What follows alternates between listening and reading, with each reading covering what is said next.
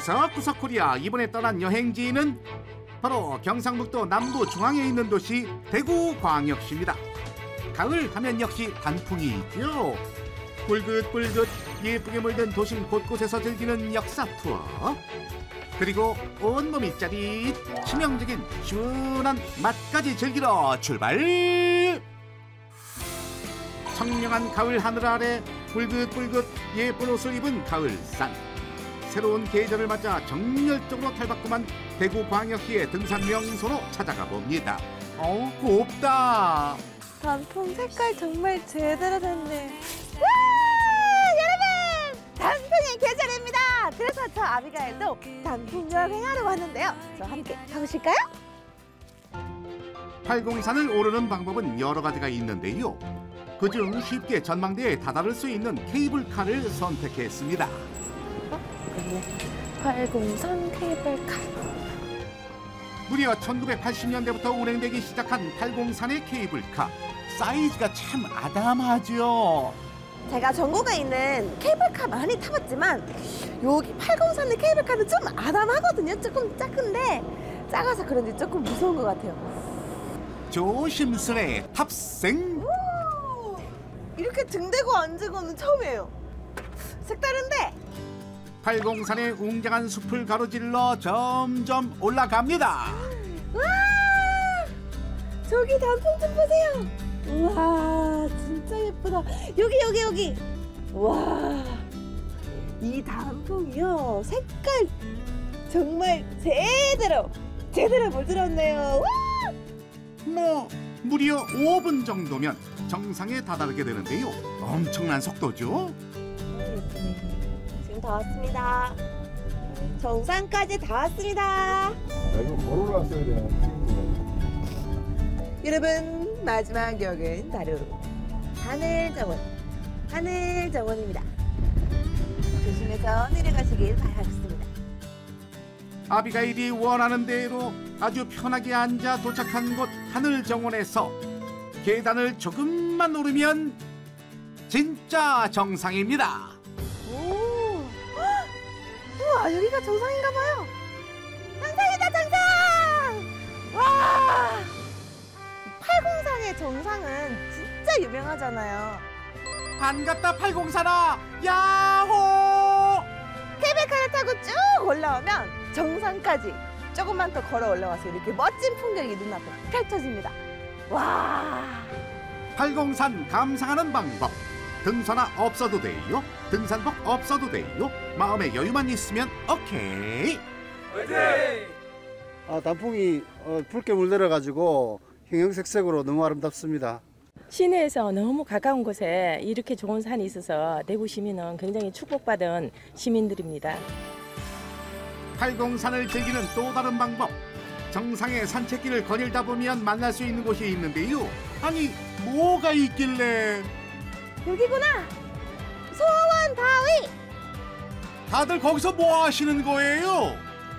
여기 소원 바위에서 지극하면 이루어진다는 말씀에 따라서 열심히 열심히 소원을 빌고 가면은 그 소원이 꼭 이루어진다고 합니다. 바위에 뭘 그리 붙이고 계시나 봤더니 아 동전 어디 보자 어디 보자 아이고 미끄러워라 아유 쉽게 붙을 리가 없지요 그런데 그때 어 붙었다 붙었어 가족이 화목하고 건강하고 부자 되는 거. 딱 붙였으니까 아마 꼭 이루어질 것 같아요. 안 이뤄주면 책임지는 거예요. 대답 잘해야 돼 안 이루어지면 100원짜리라서 그래서 그래요. 그래요? 500원짜리였으면 은 이루어졌을 텐데. 다, 다, 다시 도전 너무 적게 썼어. 울퉁불퉁한 표면에 잘 맞췄어 아비가일도 붙였다 붙였어 간절한 마음으로 소원도 빌어봅니다. 꼭 이루어지겠죠? 팔공산으로 왕궁극장으로 오세요!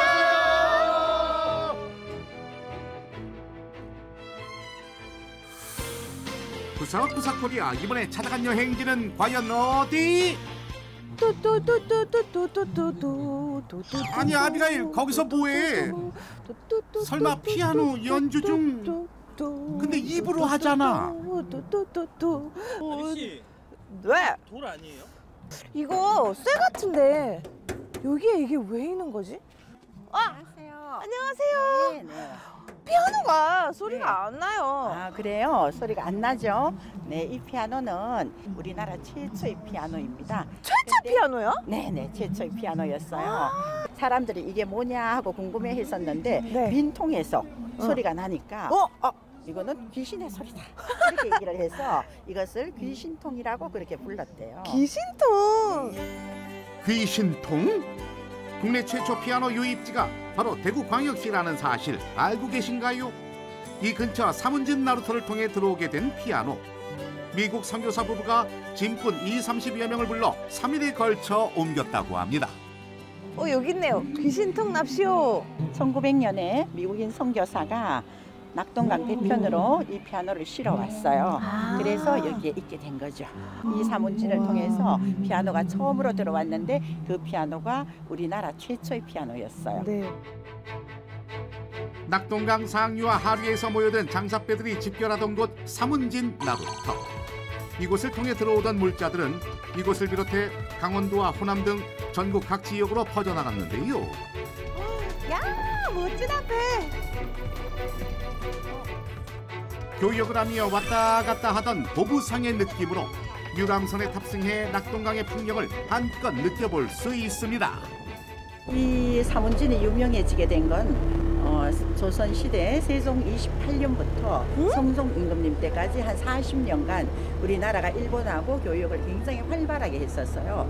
그때 이 사문진을 통해서 어, 일본의 물건이 어, 우리나라로 들어오고 또 우리나라 물건이 여기에 보관을 했다가 일본으로 건너가고 했던 그런 곳이죠.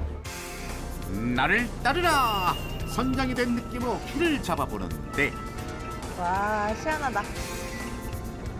우후.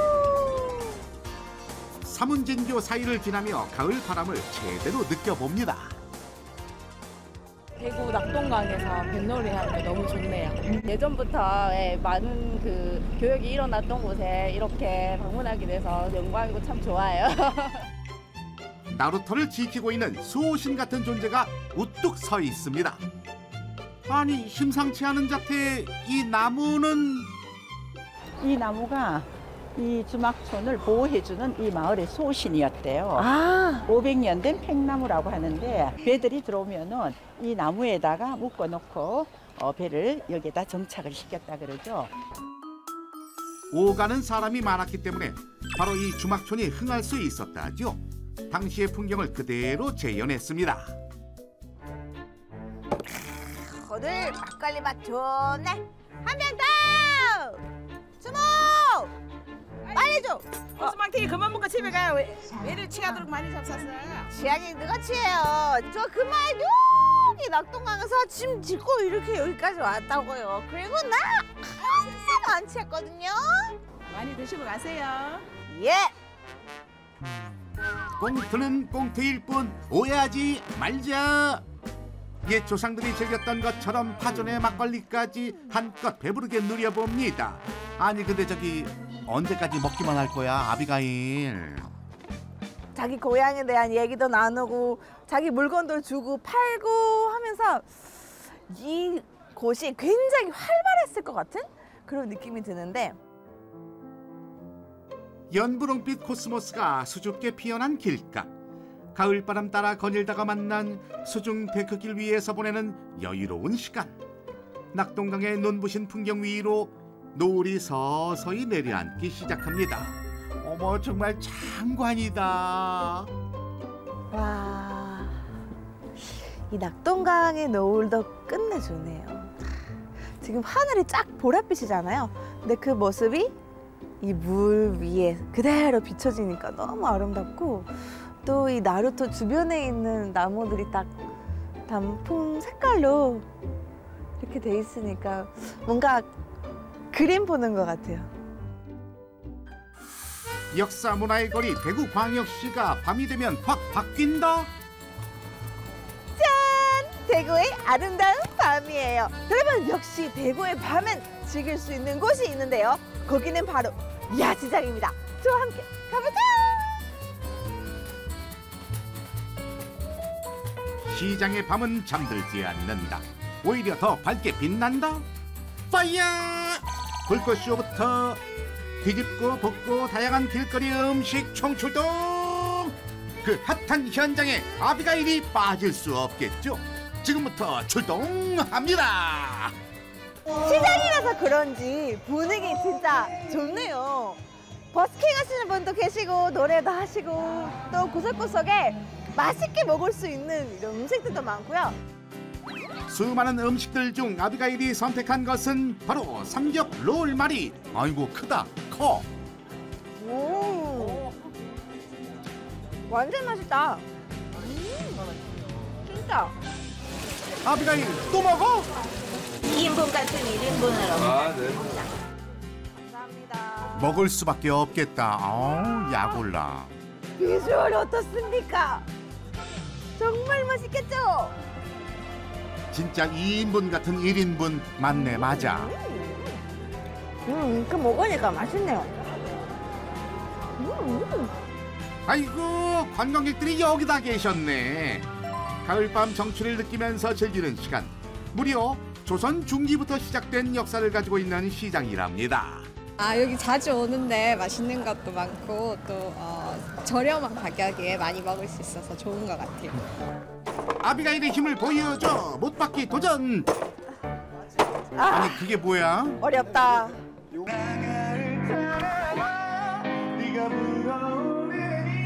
가을밤 적시는 버스킹 공연까지 무료로 감상할 수 있답니다.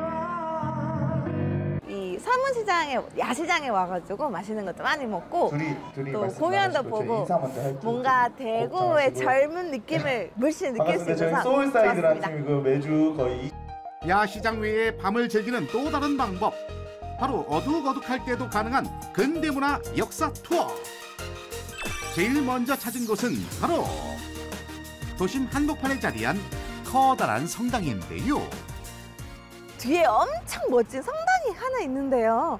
여기 어떤 곳인가요? 네, 여기는 프랑스에서 프랑스 외방 선교회에서 들어온 가톨릭 성당입니다.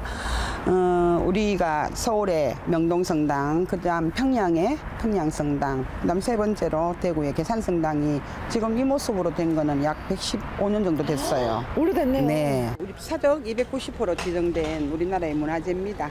문화재요? 네. 와. 무려 100년이 넘는 역사를 지니고 있는 이곳 계산성당 당시의 아름다운 건축 양식을 감상할 수 있습니다 이분 누구신지 아십니까? 몰라요. 누구시죠? 네, 이분은 우리나라 최초의 신부님이시고 마카오에서 신부님 공부를 하고 오신 분인데 김대근 안드레아님이십니다. 아, 김대근 신부님이라 그러죠. 어, 대구는 이분의 이름을 따서 대근 학교도 있어요. 아, 그래요? 네. 서울과 평양에 이어 세 번째로 세워진 고딕 양식의 계산성당. 1900년대의 서양 양식이 그대로 보존되어 있는데요.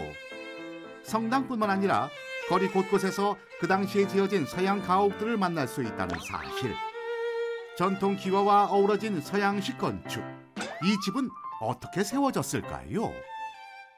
어, 여기 특별해 보이는 집이 있는데요. 집 맞나요? 네, 맞습니다. 아름답죠. 네, 110년 전쯤에 지어진 선교사님들이 사시던 주택이에요. 아, 집이네요? 예. 선교사님이라면 어떤 분의 집이었나요? 어, 1893년에 베어드 선교사님을 위시해서 쭉 계속적으로 선교사님들이 오셔서 선교 의료 그리고 또 어, 교육에 힘을 쓰시면서 자기들의 주거지로 이 동산을 어, 선택을 하셔가지고 어, 우리나라에서 정말 귀한 거예요. 지붕이 기와로 되어 있고 예, 창유리도 굉장히 이쁘죠. 붉은 벽돌의 전형적인 미국 북쪽 그 주택 양식입니다. 대구광역시의 목마르트라고 불리는 청라 언덕. 마치 영화 세트장처럼 세워진 이곳은 경북 지역 최초로 서양 의학을 도입한 의료원입니다. 의료문화 도입 외에도 다양한 학교를 세웠는데요. 선교사들이 만든 학교인 개성학교, 신명학교가 있습니다. 이곳은 그분들의 사랑과 희생과 봉사와 눈물이 다 묻어 있는 곳입니다. 문화재 곳곳을 밝히는 은은한 불빛을 따라 야경 투어를 즐겨봅니다. 대구의 도심 속에 그 100년 된 역사를 가 있었다고 해서 너무 뜻깊었고 아름다웠어요. 아비가일이 픽한 마지막 여행지는 과연 어디? 오늘 여행하면서 산에도 가고 강에도 가고 골목까지 갔는데요. 우리 여행의 마지막을 장식할 메뉴는 무엇일까요? 궁금하시죠? 맛있겠다! 커다란 철판, 붉은 소스, 온다 온다 온다 온다 온다. 뭘까요? 오, 이거 제육볶음이에요? 아, 알았다. 아구찜. 그쵸? 익숙한 듯 아닌 듯 알 수 없는 너. 대구 10대 시장의 보고입니다. 복을 이렇게 먹는다고요? 이게 정말 보고 실화입니까? 주방으로 가보니 마침 여러 종류의 보고 손질 중. 얘는 까치복인데요. 탕지리용으로 많이 쓰고요. 얘는 밀복입니다. 밀복인데 저희 집에서는 불고기용으로 많이 쓰고 있습니다. 밀복 같은 경우는 고급 어종에 속하거든요. 어, 육질이 단단하고 쫄깃쫄깃한 면이 있어요. 보고 손질에 있어 가장 중요한 것은 역시 독 제거. 간, 알, 눈, 피에 있는 독을 완벽히 빼냅니다. 보고에는 테트로드 톡신이라는 독, 독이 있는데요. 이게 성인 남성 15명을 죽일 수 있는 그런 위험한 독입니다. 그래서 전문가가 반드시 손질을 해서 드시는 게 맞습니다.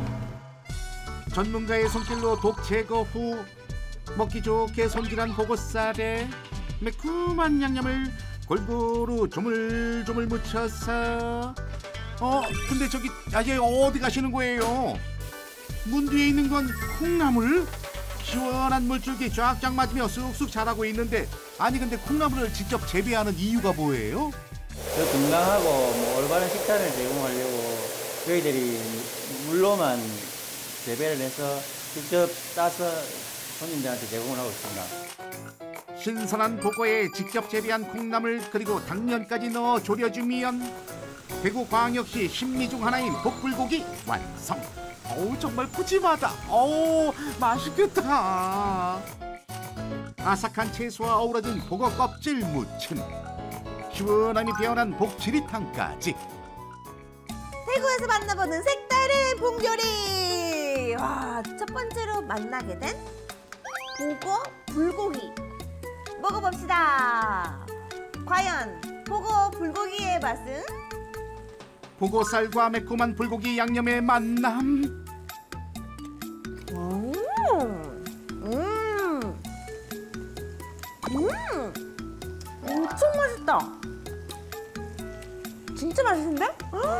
아유 자세히 좀 말해봐. 엄청 담백하면서도 부드러운 그 느낌과 양념이 매콤하잖아요. 이 매운 느낌이 확 또 이렇게 보고를 잡아주니까 음 이거 맛있네. 음, 보고 껍질을 매콤 새콤하게 무친 요리도 별미. 자세하게 얘기 좀 해봐. 보고 튀김 것도 손으로 먹어줘야 제맛이지. 그렇지. 튀김은 손으로 먹어야지. 보고 요리의 꽃은 보고 탕 아닙니까? 비린내 없이 시원하게 끓여낸 맑은 국물. 아유, 보는 내 속이 풀린다. 풀려. 오늘 대구에서 가을 여행을 해봤는데요. 풍경도 보고요, 자연도 즐기고 역사에 대해서도 보고 그리고 끝내주는 대구의 맛까지 봤는데요. 여러분 강력하게 추천드립니다. 가을 여행은 대구로 놀러 오세요. 가을 여행의 느낌이 바로 이런 거죠. 우와, 진짜 멋있네. 만지의 왕은 아비가일이요. 음, 음, 음, 엄청.